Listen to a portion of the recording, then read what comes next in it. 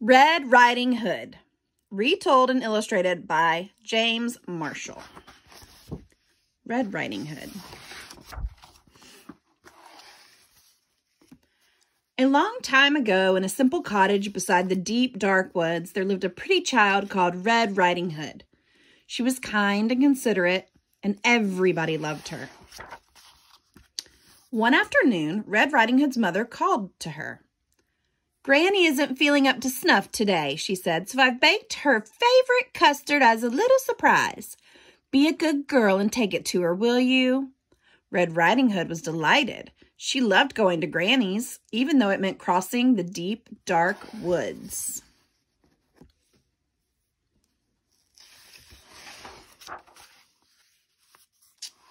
When the custard had cooled, Red Riding Hood's mother wrapped it up and put it in a basket. Now, whatever you do, she said, go straight to Granny's. Do not tarry. Do not speak to any strangers. Yes, Mama, said Red Riding Hood.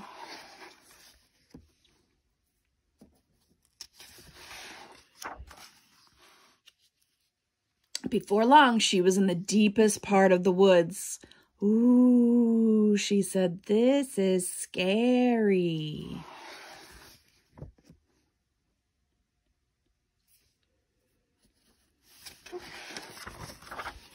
Suddenly, a large wolf appeared. Good afternoon, my dear, he said. Care to stop for a little chat? Oh, gracious me, said Red Riding Hood. Mamma said not to speak to any strangers.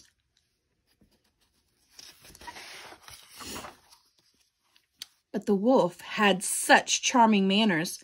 And where are you going, sweet thing? he said. I'm on my way to visit Granny, who lives in the pretty yellow house on the other side of the woods, said Red Riding Hood. She's feeling poorly, and I'm taking her a surprise. You don't say, said the wolf. Just then he had a delightful idea. No reason why I can't eat them both, he thought. Allow me to escort you, he said. You never know what might be lurking about. You're too kind, said Red Riding Hood.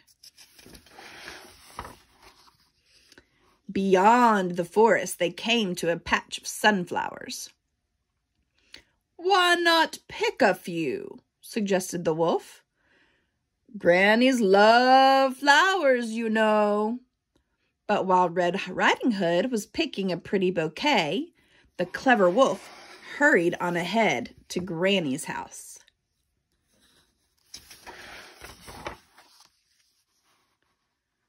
Who called out Granny. It is I, your delicious, er, darling granddaughter, said the wolf in a high voice.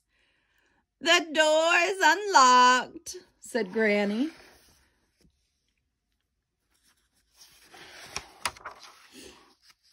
Surprise! cried the wolf. Granny was furious at having her reading interrupted. Of here, you horrid thing! she cried.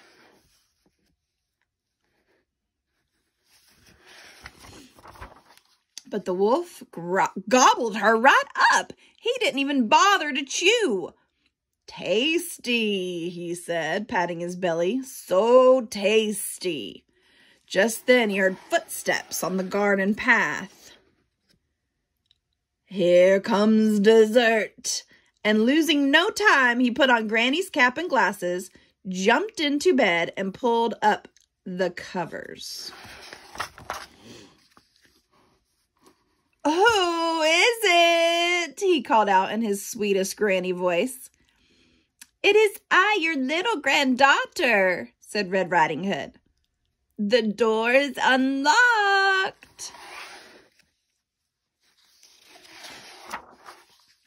Red Riding Hood was distressed at seeing her grandmother so changed. Why, Granny, she said, what big eyes you have. The better to see you, my dear, said the wolf. And Granny, what long arms you have. The better to hug you, my dear, said the wolf. And Granny, what big teeth you have. The better to eat you, my dear, cried the wolf. And he gobbled her right up. I'm so wicked, he said, so wicked. But really, he was enormously pleased with himself. And having enjoyed such a heavy meal, excuse me, he was soon snoring away.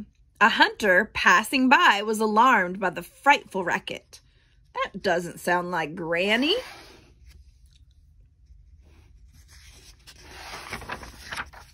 And so the brave hunter jumped in the window, killed the sleeping wolf, and cut him open.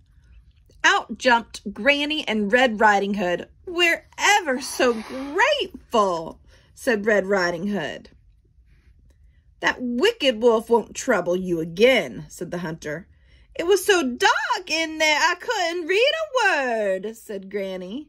And Red Riding Hood promised never, ever to speak to another stranger, charming manners or not. And she never did. Red Riding Hood, retold and illustrated by James Marshall.